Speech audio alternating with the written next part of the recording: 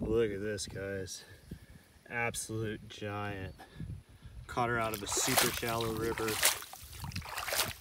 I'm about to send her back home.